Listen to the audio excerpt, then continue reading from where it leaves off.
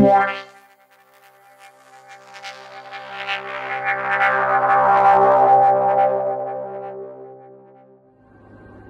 semaforo rosso gli apre lo sportello dell'auto e lo prende a cazzotti sotto gli sguardi attoniti dei passanti. Violento pestaggio oggi pomeriggio all'incrocio di via Borsellino e via Gentile a Cerignola. Nessuno interviene per paura, omertà o mancanza di prontezza e così dalla violenta aggressione la vittima ne è uscita una maschera di sangue, come gli stessi presenti lo descrivono. Ignoti i motivi alla base del gesto, che, dalle modalità, pare un personale regolamento di conti.